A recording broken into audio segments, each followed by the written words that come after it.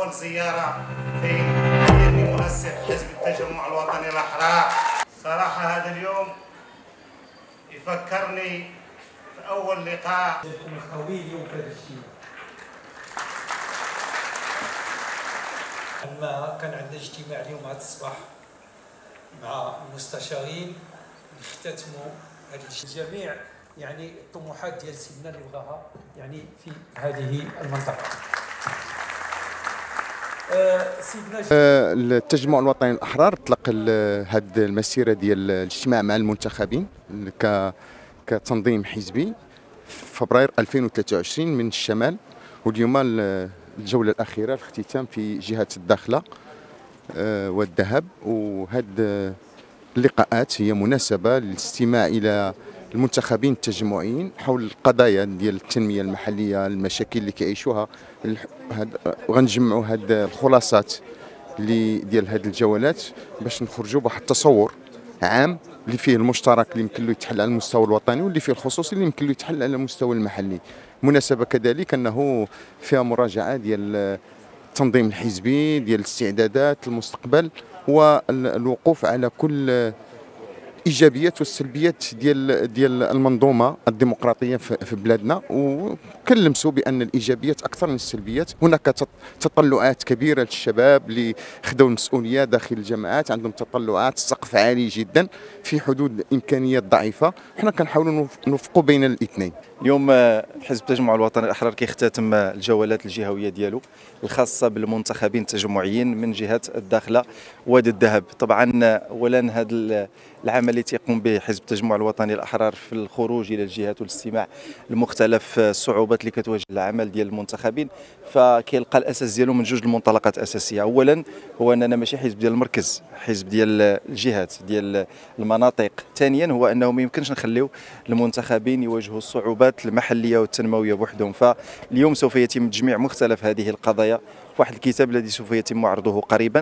هذا الكتاب هذا فيه مختلف الصعوبات اللي تعبروا عليها التجمعيين المنتخبين في الجهات واللي غادي سوف يتم صياغتها بحلول وباقتراحات وبأفكار من أجل تجويد العمل الجماعي عموما في بلادنا. اليوم عندنا المحطة آه، الأخيرة المحطة 12 آه، في مسلسل آه، ديال الاجتماعات المنتخبين اللي هما المنتديات المنتخبين على الصعيد الجهوي واللي هذه المقاربة اللي اختارها الحزب لأجل التواصل مع المدبرين ديال الشأن المحلي واللي كتوفر واحد الفضاء لتبادل الآراء والتجارب والممارسات الجيدة في تدبير ديال الشأن المحلي وكذلك الالتقائيه ديال تنزيل آه، المشاريع ال- القطاعية مع المشاريع اللي محلية وإشراك آه، يعني المدبرين ديال الشأن المحلي من جماعات ومن مجالس إقليمية وكذلك آه، الجهة.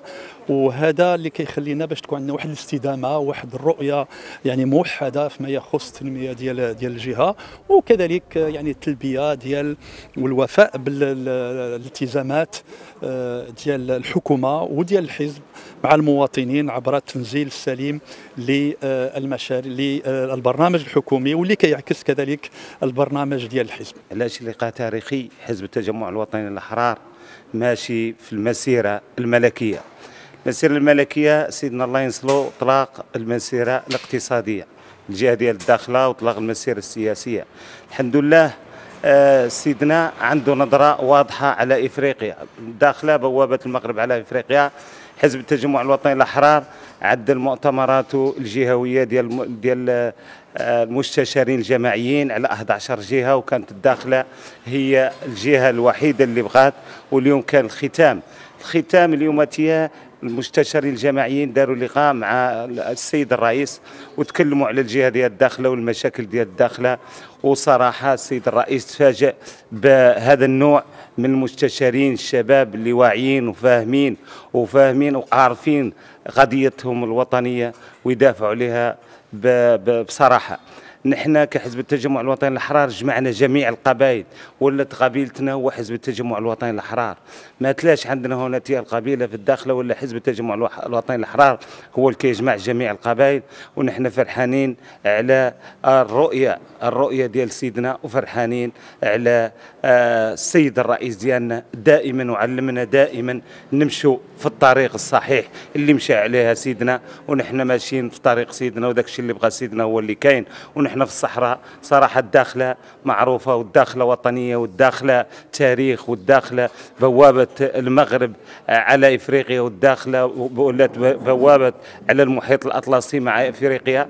آه، الساحل آه، نحن صراحة آه، فرحانين لهذا الشيء والرئيس صار الخطاب اليوم اليوم ديالو الكلمة ديالو كانت واضحة للساكنة وعرفت عن حزب التجمع الوطني الأحرار حزب المستقبل وحزب الثقة وحزب اقراس اقراس وحزب اللي جمعنا نحن الصحراويين مع شمال المملكة. آه، اليوم الداخلة كتعرف آخر محطة من سلسلة المنتديات الجهوية آه، للمنتخبين التجمعيين اللي نحن شكلنا فرصة حقيقية يعني من أجل التواصل مع رئيس الحكومة ومع يعني مجموعة الوزراء المرافقين له من أجل نقل انشغالات واهتمامات يعني ساكنة جهة الداخلة وادي ذهب آه، كان نقاش مستفيض يعني في مجموعة من المجالات الإكراهات اللي كتعاني منها الجهة. لا في سواء في مجال التشغيل لا سواء في مجال الصيد البحري لا سواء في الصحة والتعليم. آه، كان هناك مجموعة من التوصيات والمقترحات اللي إن شاء الله آه، نتمنى على أن الحكومة تأخذها بعين الاعتبار وخاصة يعني في ظل هذه السياسة والمقاربة التشاركية اللي كينهجها الحزب. آه، نت- نتأملوا خير إن شاء الله بإذن الله. قبل المغادرة لا تنسوا الاشتراك في قناة العمق المغربي وتفعيل الجرس ليصلكم كل جديد. ولا تنسوا مشاركة الفيديو والضغط على زر الإعجاب.